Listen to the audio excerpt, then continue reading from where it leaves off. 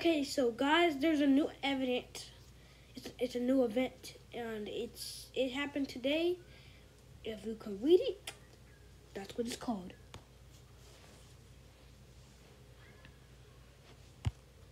April 15th to May 20th.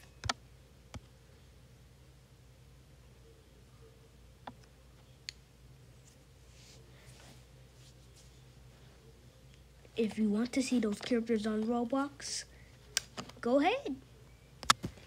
Like they're they're in your avatar.